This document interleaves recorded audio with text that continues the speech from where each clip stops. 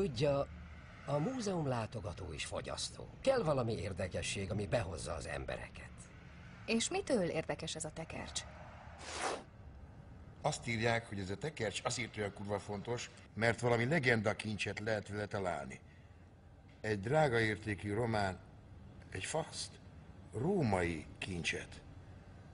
A vitatott létezésű Strix Aurum, ami a szakértők Ez szerint... nagyon érdekes, de nekünk fél óra múlva le kell adni az árut.